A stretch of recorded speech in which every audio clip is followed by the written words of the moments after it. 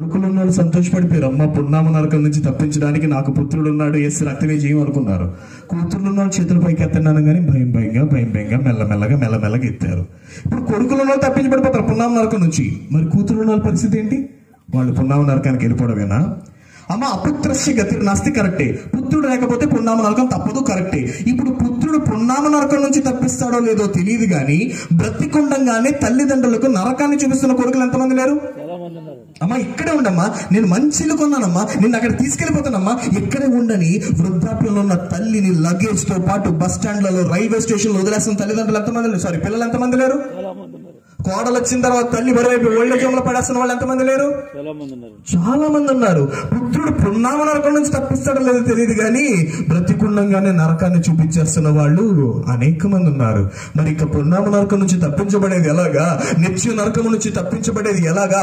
అపత్రస్య గతిర్నాస్తి కరెక్టే పుత్రుడు లేకపోతే పున్నామ నరకం తప్పదు కరెక్టే కానీ ఏ పుత్రుడు? నా కొడుక ఆడే నరకానికి వెళ్ళిపోతాను ఇక నన్నే నరకానికి తెప్పిస్తాడని చాలా మంది తల్లులు అంటున్న సందర్భాలు కూడా నాకు బాగా తెలుసు. అయితే పుత్రుడు పున్నామ నరకం నుంచి తప్పిస్తాడు. కానీ ఏ పుత్రుడు అంటే బైబిల్ చెబుతున్న మాట యష్యా గ్రంథం తొమ్మిదవ అధ్యాయం ఆరో వచనం. ఏలయనగా మనకు శిశువు పుట్టెను మనకు కుమారుడు అనుగ్రహించబడను దేవునికి మహిమ కలుగునుగాక. ఏలయనగా మనకు శిశువు పుట్టెనంటే అపుత్రస్య గతిర్నాస్తి. పుత్రుడు లేకపోతే పున్నామ నరకం తప్పదు. పున్నామ నరకం నుంచి తప్పించేవాడు పుత్రుడు. ఏ పుత్రుడు అంటే మనకో మీకో మీ వాళ్ళకో మీ తాత వాళ్ళకో మీ ముత్తాతలకో పుట్టిన కొడుకు కాదు మిమ్మల్ని పున్నా పరిణామ నరకము నుంచి తప్పించగలిగిన వాడు ఎవరో తెలుసా? ఏలయనగా మనకు శిశువు పుట్టినని దైవం మానుష్య రూపేణగా ఈ భూమి మీదకు అవతరించి ప్రపంచ మానవాళిని పాపము నుంచి శాపము నుంచి రక్షించడానికి పరమును విడచి భూమికి అవతరించిన కుమారుడు ప్రభు అయిన యేసు దేవునికి మహిమ కలుగును గాక వై జీసస్ అనే మాట చెప్తాను వినండి. ఓ భక్తుడు దేవుడి దగ్గరికి వెళ్ళిపోయాడంట. దేవుడి దగ్గరికి వెళ్ళిపోయి అంటున్నాడు యశ్వరావు దగ్గరికి వెళ్ళిపోయి అంటున్నాడు. యశ్వరావు నువ్వు నిజంగా దేవుడువేనా? ఏంటో అంత డౌట్ వచ్చింది నీకు? ఏ? దేవుడు అన్నాడు ఏం చేయాలి? నేను బాధలో ఉన్నప్పుడు నాకు తోడ ఉండాలి. నువ్వేంటి కేవలం నా సంతోషంలోనే మాత్రం నాకు తోడై ఉన్నావు? నా బాధలో నాకు తోడై ఉండవా? నా కష్టంలో నాకు తోడై ఉండవా? అంటే దేవుడు అంటున్నాడు "ఓరి పిచ్చోడా నీ కష్టంలో కూడా నీతోనే ఉన్నాను. ఏ దమ్ముంటే ప్రూవ్ చేయ అన్నాడు. ఓకే గతంలోకి వెళ్దాం అన్నాడు.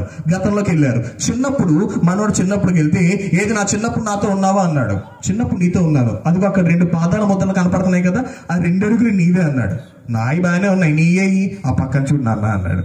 ఆ పక్కన చూస్తే రెండు దేవుడు అడుగులు ఉన్నాయి. చాలా సంతోషపడిపోయాడు దేవుడు నాతో అన్నాడని చిన్నప్పుడు ఎవరెవరు ఉన్నాయి? భక్తుడి రెండు దేవుడు రెండు పాదాల ముద్దలు ఉన్నాయి. నేను కాలేజ్కి వెళ్ళినప్పుడు నాతో ఉన్నావా నువ్వు అన్నాడు. కాలేజ్కి వెళ్ళినప్పుడు నాతోనే నీతోనే ఉన్నాను అన్నాడు. భక్తుడి రెండు దేవుడు రెండు కాళ్ళ ముద్రలు కనపడుతున్నాయి. ఓ నాతోనే ఉన్నావు అన్నాడు. ఇప్పుడు తర్వాత ఉద్యోగానికి వెళ్ళాడు. నా ఉద్యోగం నేను పడిన కష్టాలు టెన్షన్ దేవుడు తెలియాలి. అప్పుడు ఉన్నావా? నాతో ఉన్నాడు. అప్పుడు నీతోనే ఉన్నాను నాన్న. అక్కడ రెండు పక్కన రెండు. చాలా సంతోషపడిపోయాడు. కాలక్రమేణా భక్తుడికి పెళ్ళయింది. పెళ్ళయిన తర్వాత ఎన్ని ఉండాలి భక్తుడి రెండు ఉండాలి అలావిడి రెండు ఉండాలి చెప్పనమ్మా. దేవుడు రెండు ఉండాలి. మొత్తం ఎన్ని ఉండాలి ఆరు ఉండాలి. దేవా ఇప్పుడు ఆరు ఉండాలి కదా. ఇప్పుడు నాలుగే ఉంటే మాత్రం నువ్వు తప్పని నేను ప్రూవ్ చేసేస్తాను అన్నాడు. చూడు నాన్న అంటే భక్తుడి రెండు ఉన్నాయి అలావిడి రెండు ఉన్నాయి దేవుడి రెండు ఓ ఎస్ రక్తవేజీవం నాతో ఉండవు నాతో ఉండవు చాలా సంతోషపడిపోతున్నాడు. కోవిడ్ వంటి భయంకరమైన వ్యాధి వచ్చి ఆ భక్తుడి భార్య తీసుకుని తీసుకొని తీసుకొని తీసుకొని చచ్చిపోయింది. పెళ్ళైన కొన్ని నెలలకి భార్య చచ్చిపోయింది. భార్య చచ్చిపోయినప్పుడు ఎన్ని కాళ్ళు ఉండాలి? మధ్యలో వచ్చింది కాబట్టి ఆవిడ రెండు తీసేస్తే భక్తుడి రెండు దేవుడి రెండు ఉండాలి. కానీ అక్కడ కేవలం రెండు మాత్రమే ఉన్నాయి. ఈడి కోపం వచ్చింది ఇదిగో నేను అందుకే నువ్వు దేవుడు కాదన్నాను. నేను అందుకే నా శ్రమలో లేవడన్నాను. దేవుడు అన్నాడు నేను సంతోషంగా ఉన్నప్పుడు నాతో ఏంటి ఏం ప్రయోజనం? నేను బాధలో ఉన్నప్పుడు కూడా నాతో ఉండాలి కదా. నేను కష్టంలో ఉన్నప్పుడు కూడా నాతో ఉండాలి కదా. నా కష్టంలో లేనాడు నువ్వు ఎందుకు ఇంకా నాకు అంటే దేవుడు అంటున్నాడు నా కుమారుడా నీ భార్య చచ్చిపోయినప్పుడు నువ్వు చాలా వేదనలో ఉన్నావురా. నీ భార్య చచ్చిపోయినప్పుడు నువ్వు చాలా ఏడుస్తున్నావు. ఆ అప్పుడే ఉండాలి నువ్వు మరి అప్పుడు లేవు చెప్పింది విను. పూర్తిగా వినకుండా మాట్లాడకు. నీ భార్య చచ్చిపోయినప్పుడు నువ్వు టైంకి తినేంతకాలం ఏందో తెలుసా? టైంకి మందులు వేసుకుని ఎంతకాలం ఏందో తెలుసా? అసలు నువ్వు ఫోన్ చేసి ఎంతకాలం ఏందో తెలుసా? నువ్వు కనీసం అడుగు తీసి అడుగు వేయలేక నడవలేని పరిస్థితుల్లో కృంగిపోయి కృషించిపోయి భయంకరంగా నీరసంగా ఉండిపోయినప్పుడు నువ్వెక్కడ నడవలేవని ఒకవేళ నడిస్తే నువ్వెక్కడ పడిపోతావని నిన్ను నా భుజాల మీద ఎత్తుకున్నాను. ఆ కనిపిస్తున్న రెండు కాళ్ళు నీవి కాదు. కనిపిస్తున్న రెండు కాళ్ళు నావి. నువ్వు నా భుజాల మీద ఉన్నావు అన్నాడు యేసుప్రభు. దేవునికి మహిమ కలుగులు గాక.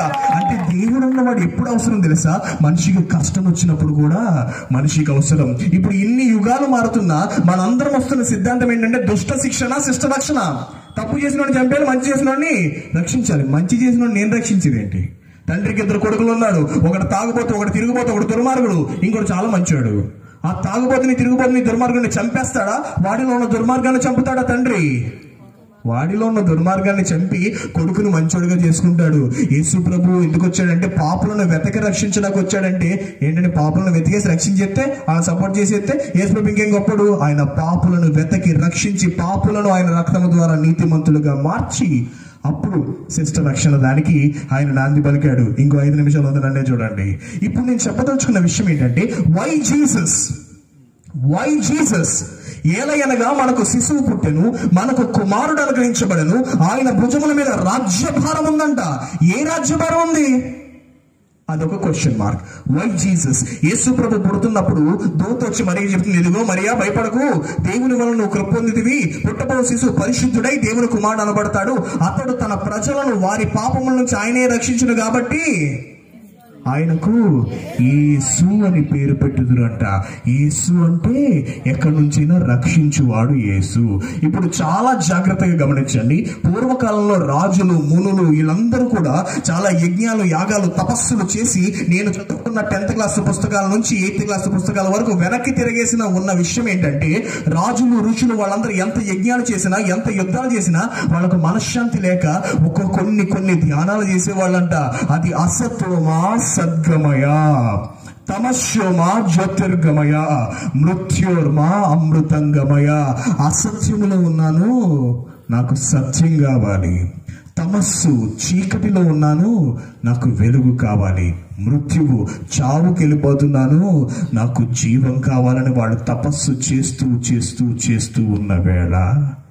ఈ భూమి మీద నా భూతో నా భవిష్యత్ అన్నట్టుగా అసతో మా అసద్గమయ తమస్సు జ్యోతిర్గమయ మృత్యుర్మ అమృతంగమయ అన్న మాటలకు నిలువెత్తు దర్పణంగా నిలిచిన వాడు ఏకైక వ్యక్తి. ఆ వ్యక్తి చెప్పిన మాట ఏంటంటే నేనే మార్గము నేనే సత్యము నేనే జీవము. అసతో మా సద్గమయ నేనే సత్యము. తమస్సుమా జ్యోతిర్గమయ. చీకటిలో ఉన్నాం మాకు మార్గం తెలియట్లేదు మాకు దారి కనపట్ల లైట్ కావాలి. నేనే మార్గము మృత్యోర్మా అమృతంగమయ. చచ్చిపోతున్నాం మాకు జీవం కావాలి. నేనే జీవమని ప్రకటించిన వాడు ఏకైక వ్యక్తి ప్రభు అయిన యేసు. దేవునికి మహిమ కలుగును గాక. వై జీసస్ నెంబర్ టూ యేసు ప్రభు ఎందుకు అవసరమో? నెంబర్ టూ అపుత్రసి గతిర్నాస్తి కొడుకులు చాలా ఇబ్బంది పెట్టేస్తున్నారని చెప్పాం కదా. కానీ యేసు ప్రభు చనిపోతున్న టైంలో కూడా తన తల్లిని అప్పగించి అమ్మా ఇదిగో నీ కుమారుడని అప్పగించి చనిపోయాడు. తల్లిని ఆఖరి గడియలో కూడా వదలని మహానుభావుడు ప్రభు అయిన యేసుక్రీస్తు. నెంబర్ త్రీ ఏంటో చెప్పమంటారా? ఈ భూమి మీద నేను ఇక్కడ నిలబడి నేను ఇక్కడ నిలబడి నాలో తప్పుందని అవడానికి ప్రూవ్ చేయగలడా అంటే నా గురించి నిజంగా తెలిసిన వాళ్ళు నా గురించి మా తాత గురించి వాళ్ళ తాత గురించి వాళ్ళ తాత ఓ నీ బాగా తెలియదురా అని ఎత్తుకుంటూ వస్తారు. ఎందుకంటే ఎవడొకడు తప్పు చేసే ఉంటాడు. కానీ ఈ భూమి మీద నాలో తప్పుందని ఎవడైనా రుజువు పరచగలడా అంటే మారు మాట మాట్లాడకుండా ఏ ఒక్క వ్యక్తి వేలు ఎత్తి చూపని వాడు ఏకైక వ్యక్తి. నేను ప్రకటిస్తున్న యేసు దేవునికి మహిమ కలుగును గాక వై జీసస్ అన్న దానికి ఇంకొక మాట చెప్పమంటారా? ఎందుకో చెప్పమంటారా? ఆయన ఈ భూమి మీద మనకలాగే పుట్టాడు పెరిగాడు చనిపోయాడు. కానీ ఏ ఒక్కడు చెయ్యని రీతిగా చావునే చంపి లేచిన వాడు ప్రభు అయిన యేసు దేవునికి మహిమ కలుగునుగాక అయితే మీ అందరికీ ఒక విషయం చెప్తా. రక్షకుడు పుట్టినప్పుడు సంతోషమా? రక్షణ వచ్చినప్పుడు సంతోషమా? పుట్టినప్పుడా? రక్షణ వచ్చినప్పుడు సంతోషం. మరి క్రిస్మస్ అంటే సంతోషమేనా? అప్పుడు రక్షకుడు పుట్టాడు. రక్షణ రాలేదు. కానీ క్రిస్మస్ అంటే సంతోషమేనా? ఖచ్చితంగా సంతోషం. ఎందుకంటే నీకు ఆల్రెడీ తెలిసిపోయింది రక్షణకు నాంది పడిపోయిందని దేవునికి మహిమ కలుగును గాక.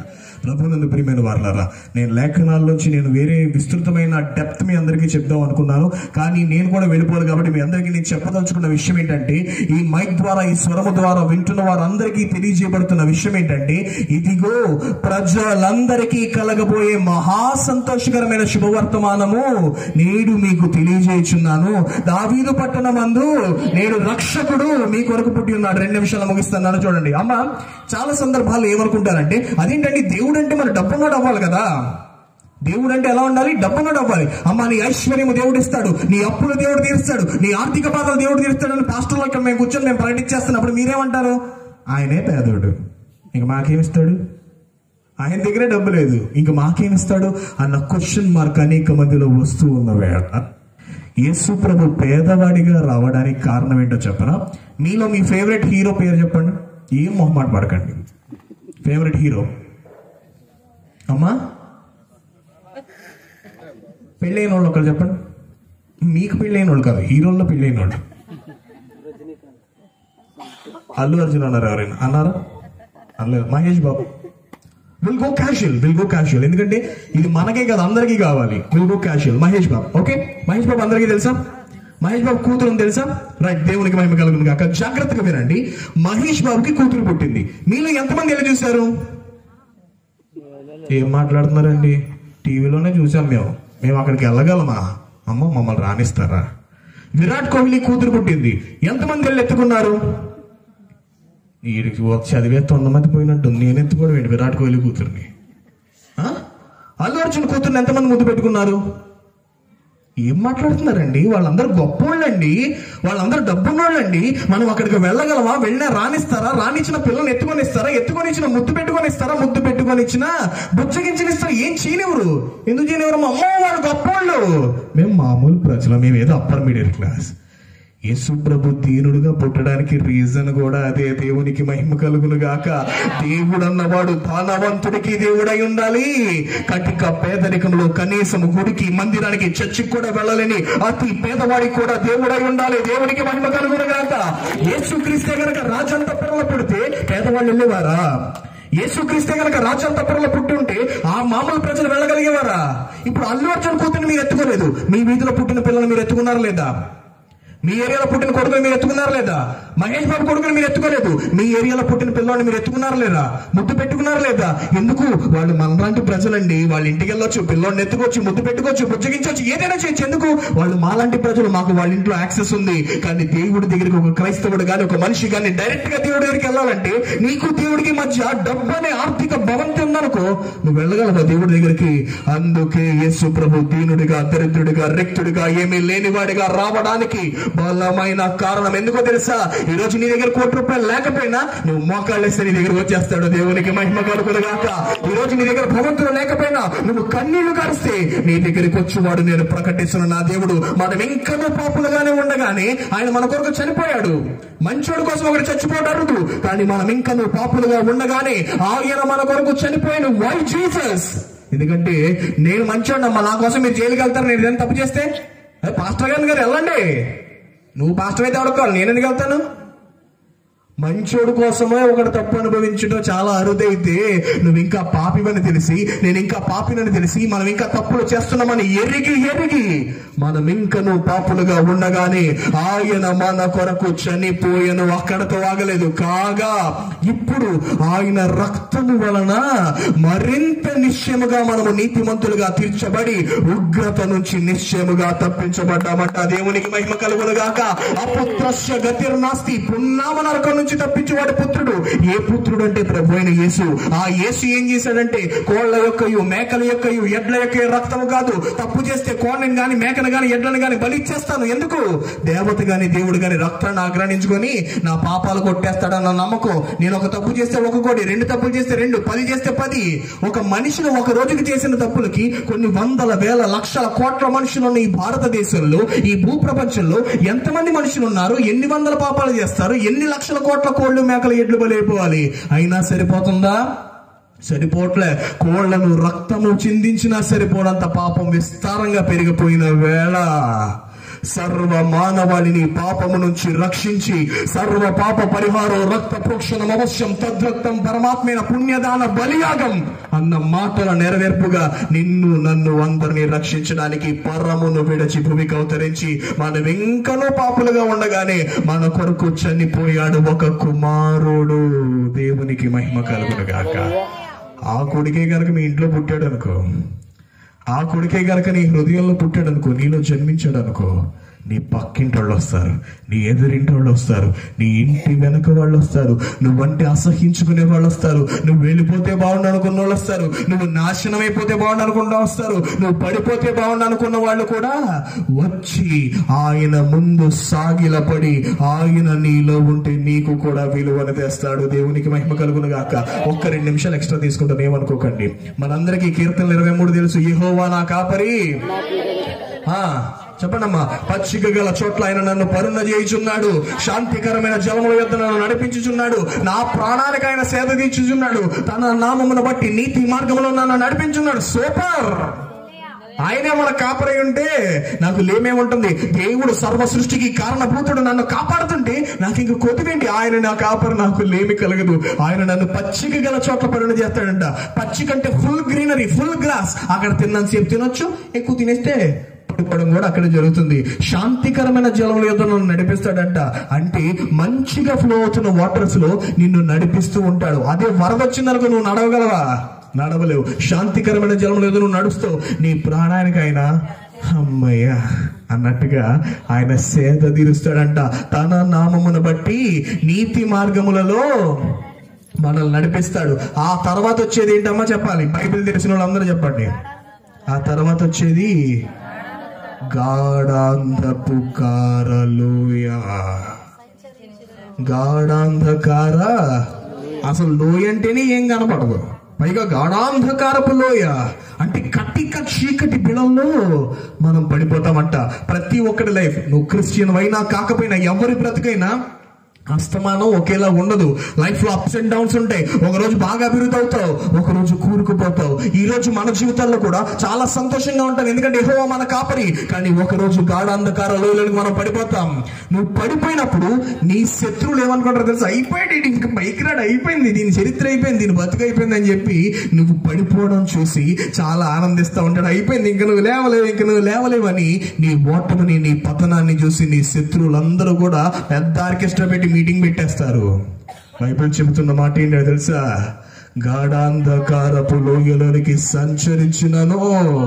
ఏ అపాయము నాకు? భయపడము ఎందుకు భయపడవు? ఆడేమో నేను తోస్తే సంతోషపడుతున్నాడా? అమ్మ నీ శత్రువు నువ్వు పడిపోవని సంతోషపడుతున్నప్పుడు బాగైంది బాగా పడిపోయి ఉన్నావు అనుకో. వాడిని చూసి నువ్వు పిచ్చోడా. అని నవ్వుకుంటే వాడికి టెన్షన్ వస్తుంది రాదా? ఈ నేనేం ఆడి పడిపోయాడు అనుకున్నాను ఈడేం ఇలా అంటున్నాడు అని టెన్షన్ వచ్చేది. రంచరించినను ఈ అపాయం నాకు భయపడినంట. ఎందుకంటే ఆయన దుడ్డు కర్ర ఆయన దండము మనల్ని ఆదరించి బయటికి తీసుకొచ్చేదంట. దేవునికి మహిమ కలుగునుగాక. ఇప్పుడు ఒక్క విషయాన్ని చెప్తాను జాగ్రత్త గమనించండి. బైబిల్ గ్రంథంలో ప్రతిసారి నీ శత్రువులు క్షమించు శత్రువులు క్షమించు శత్రువులు క్షమించు అని చెప్పబడుతూ ఉందా లేదా? ఉంది. ఎప్పటి వరకు క్షమించు? దీర్ఘకాలము క్షమించు అని చెప్పబడి ఉందా లేదా? కానీ ఎక్కడైనా బైబిల్ గ్రంథంలో నిన్ను బాధ పెట్టిన వాడిని నేను క్షమిస్తానని చెప్పాడా దేవుడు? నిన్ను బాధ పెట్టిన వాళ్ళు నువ్వు క్షమించినన్న నీ చేతులకు మట్టి అంటకుండా వాళ్ళ తాట తీసేసే బాధ్యత నాది. డోంట్ వరీ అబౌట్ దాట్ దేవునికి మహిమ కలుగును గాక. గాఢాంధకార లోయలోనికి సంచరించిన we are not for anything ఎందుకంటే ఆయన దుడ్డు కర్ర ఆయన దండము నేను బయటికి తీసుకొస్తుంది. దేవుడు ఎంత బ్యూటిఫుల్గా రివెంజ్ ప్లాన్ చేస్తాడు తెలుసా? నువ్వు బాగా బాగుపడాలి. లైక్ ఆంటీ గారు పాస్టర్ గారు వీళ్ళందరి ముందు నేను కూర్చొని బిర్యానీ తింటే నాకు పెద్ద అంత కిక్ రాదు. ఎందుకు? అందరూ నేను డెవలప్ అవ్వాలని కోరుకునే వాళ్ళే నేను బాగుపడాలని కోరుకునే వాళ్ళ దగ్గర నేను బిర్యానీ తిన్నా రాని ఆనందం నీ నోటికాడ కూడు తీసేయాలి నువ్వు నాశనం అయిపోవాలి నువ్వు పతనం అయిపోవాలి అనుకున్నోడి దగ్గర నువ్వు గంజాలను తింటే ఎలా ఉంటుంది తెలుసాడికి నువ్వు పచ్చడి మెతుకులు తింటే ఎలా ఉంటుంది తెలిసాడికి ఏంటి ఈడు చచ్చిపోయాడు వీడు పైకి రావడం ఏంటి? వీడు భోజనం చేయడం ఏంటని. దేవుడు చెబుతున్న మాట నువ్వు గాఢ అంధకార లోయలోనికి పడిపోతావు. డోంట్ వరీ నేను అక్కడ కూడా నీతో ఉంటా. బయటికి తీసుకొచ్చి శత్రువుల ఎదుట నీకు భోజనాన్ని ఏర్పాటు చేస్తాను. దేవునికి మహిమ కలుగులు గాక. అయిపోయింది. తర్వాత ఏంటి? నూనెతో నా గిన్నె నిండి పొర్లుచున్నది. ఇప్పుడు నేను తల నుంచి ఇలా ఆయిల్ పోసుకున్నాను అనుకో అమ్మ. ఆయిల్ పోసేసుకున్నాను అనుకో. నేను ఇలా నడిచి వెళ్తుంటే వెనకాతలు ఏముంటాయి? ఏముంటాయమ్మా? ఆయిల్ మరకలు ఉంటాయి నీ తల మీద నుంచి దేవుడు అభిషేక తైలము కుమ్మరించగలిగితే నువ్వు ఏ ప్రాంతములోనికి వెళితే ఆ ప్రాంతములో అభిషేక తైలము కింద మరకల వలె ఉంటుంది. ఎవడైతే నువ్వు వాళ్ళ వీధిలోనే ఉండకూడదని కోరుకుంటాడో అట్టివాడు నువ్వు వాళ్ళ ఇంటికి వచ్చి ప్రార్థన చేస్తే బాగుండాలని కోరుకుంటాడు. దేవునికి మహిమ కలుగులుగాక నిన్ను వెలువేయాలనుకున్న వాళ్ళు నువ్వు నాశనం అయిపోవాలనుకున్న వారు నువ్వు పాడైపోవాలనుకున్న వాళ్ళు నీ ముందు సాష్టంగా నమస్కరించి ప్రార్థన చేయమని వస్తారు యు నో వెన్ లోయలో పడిపోయినప్పుడు కంగారు పడకు. ఆయన తీసుకొస్తాడు. దేవునికి మహిమ కలుగుదు గాక. ఆ తర్వాత ఏం చేయండి తెలుసా? చిరకాలము యెహోవా మందిరములో నేను నివాసము చేసేదను. దేవునికి మహిమ కలుగును గాక. అపుత్రస్య గతిర్నాస్తి పున్నామ నరకం నుంచి పుత్రుడు తప్పించేశాడు. ఆ తప్పించే ప్రాసెస్లో లోయలో పడిపోయిన బయటకు తెచ్చాడు. బయటకు తెచ్చిన కుమారుడు నన్ను తప్పించడం మాత్రమే కాకుండా చిరకాలము ఆయన మందిరంలో నివాసం చేసే ధన్యత ఈరోజు మీ అందరూ పొందుకుంటారని ప్రభు పేరట నేను విశ్వసిస్తూ దేవుని దాసునిగా మీ అందరి గృహాల మీద క్షేమాన్ని ప్రకటిస్తూ శాంతి సమాధానాన్ని ప్రకటిస్తూ సర్వోన్నతమైన స్థలములలో దేవునికి మహిమయు ఆయనకు ఇష్టలైన మనుషులందరికీ ఈ ప్రాంతము వాళ్ళందరికీ ఈ గృహము వాళ్ళందరికీ ఈ మైక్ ద్వారా వింటున్న వాళ్ళందరికీ సమాధానము కలుగునుగాక. ప్రభు ఈ కొద్ది మాటలు దీవించునుగాక ఒక్క పల్లవి ఒక్క చరణం. మేలు చేయక నీవు